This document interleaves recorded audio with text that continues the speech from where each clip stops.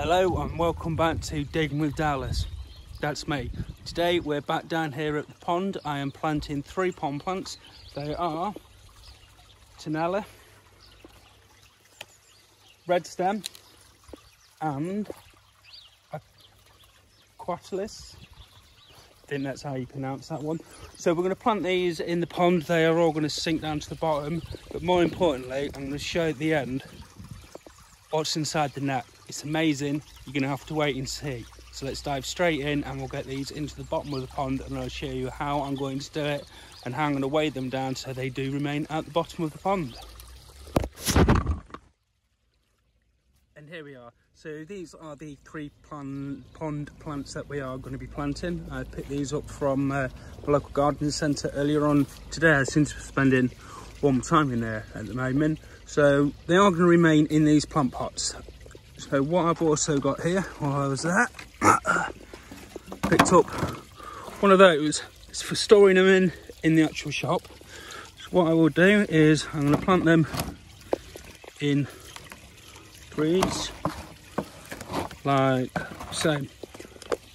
So now they are actually in that, what I've also got here, like magic, one I made earlier, is I've got the slate. So I'm going to put the slate on top of this one here, especially because it's got the soil there. But what that's going to do, it's just going to help keep that soil in that pot.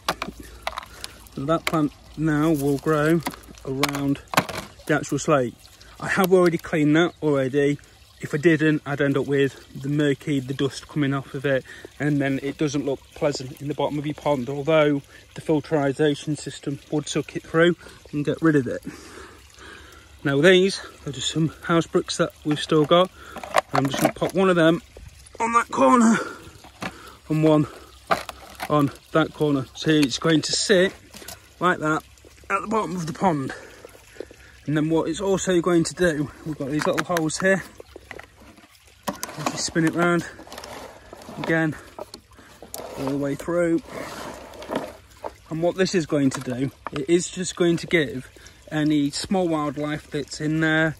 If it does need to dive and get away from a, a predator that's in there, it can do. The only predators that are really in there at the moment are, are the fish. So there's lots of tadpoles in there, there's frogs and there's the newt as well.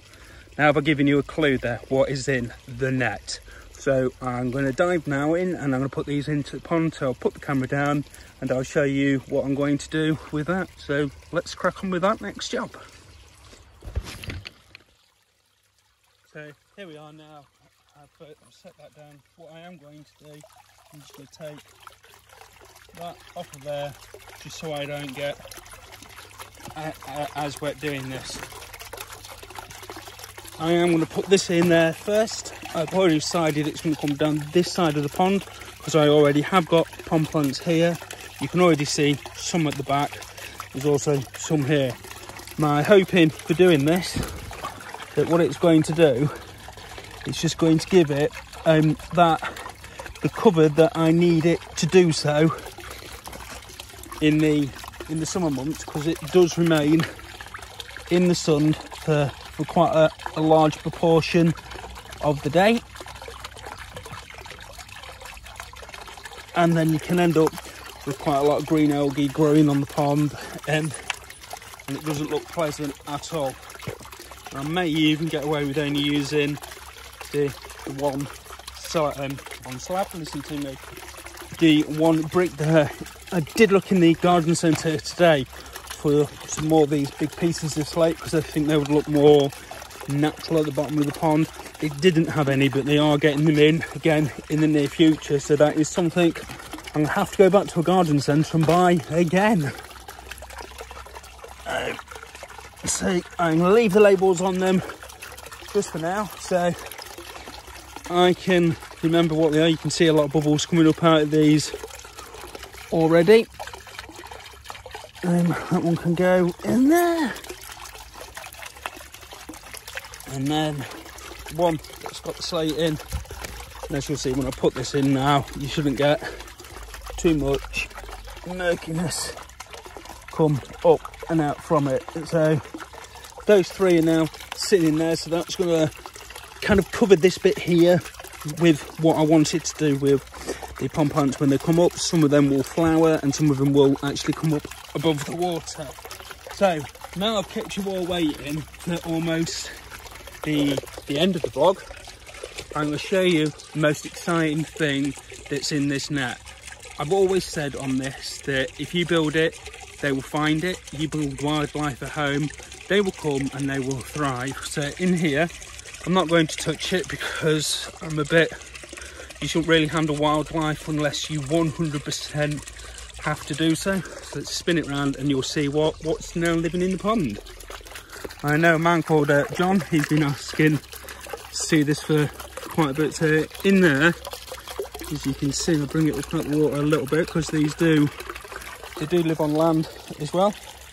We've actually got a female common newt and that's what that is there. So she has found this pond and she's decided to, to make it her home. And there is a male in there as well but I didn't see it when I was doing this. The only reason I saw this one is that as I was moving some of the uh, pond plants out she uh, she showed herself. What I'm going to do now is I am just going to let her go so without further ado swimming to the bottom of the net now. There we go, and off she goes back down to the bottom, and she hides in those plants quite a lot, and she'll be down there eating the tadpoles. So that is that. So if you enjoyed what I've done here, please remember to like and subscribe, especially if you're new to the channel.